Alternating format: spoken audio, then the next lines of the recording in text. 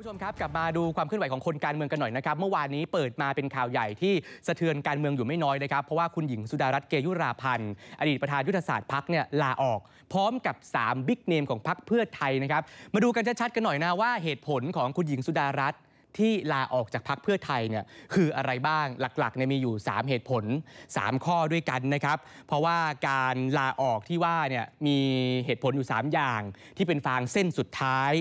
หนึ่งนะฮะคือความไม่ชัดเจนของกรรมการบริหารพัก เรื่องของการเลือกตั้งผู้ว่ากรุงเทพมหานคร ขยายความนิดนึงฮะคือในพักเพื่อไทยเนี่ยเอาจริง ๆ ก็คือมีการเมืองภายในอีกทีหนึ่งก็แบ่งออกเป็น 2 กลุ่ม กลุ่มหนึ่งก็บอกว่าไม่ต้องส่งหรอก ในการเลือกตั้งผู้ว่ากรุงเทพ อีกกลุ่มหนึ่งก็บอกว่าไม่ได้เราเนี่ยเป็นพักใหญ่ ยังไงเราก็ต้องส่ง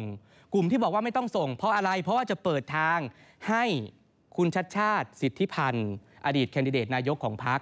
ได้เป็นอันนี้คือความขัดแย้งที่มันเกิดขึ้นภายใน มาดูข้อ2นะครับมีการแต่งตั้งคณะกรรมการและอนุกรรมการใหม่ แทนทีมคุณหญิงสุดารัตน์โดยไม่มีชื่อบุคคลในเครือข่ายสสของทีมคุณหญิงสุดารัตน์แม้แต่ คณะเดียว จุดนี้นะครับขยายความก็คือว่าคนสนิทของคุณหญิงหน่อยเนี่ยที่ถูกลดบทบาทลงอาทิกลุ่มไทยพลัสจำชื่อนี้ได้ไหมฮะ เป็นการรวมตัวกันของคนรุ่นใหม่ ตามนโยบายของกรรมการยุทธศาสตร์พักในยุคของคุณหญิงสุดารัตน์ก็ได้ถูกสั่งให้ยุติบทบาท แล้วก็ตั้งคณะกรรมการนโยบายด้านเยาวชน และคนรุ่นใหม่ขึ้นมาทดแทน โดยไม่มีชื่อของนายสุรชาติเทียนทอง หรือว่ากลุ่มไทยพลัสคนอื่น ๆ ได้มาร่วมในกรรมการชุดใหม่นี้ และเหตุผลข้อ3นะครับการเลือกตั้งนายกองค์การบริหารสวนท้องถิ่น ที่จะมีขึ้นเนี่ยที่เราเห็นเขาหาเสียงกันนะฮะไม่อนุญาตให้คุณหญิงสุดารัตน์เนี่ยลงพื้นที่ช่วยหาเสียง คุณผู้ชมว่ามันแปลกไหมล่ะฮะว่ามันมีอะไรที่เกิดขึ้นภายในพักไหมทำไมถึงไม่ให้คุณหญิงสุดารัตน์นั้น ช่วยหาเสียง ทั้งนี้นะครับในเฟสแรกนี้มีนักการเมืองที่ไม่ได้เป็นสสเนี่ยลาออกพร้อมคุณหญิงสุดารัตน์อย่างน้อยตอนนี้ 3 ชื่อ มีนายวัฒนาเมืองสุข นายโพคินพลกุล นายพงศกร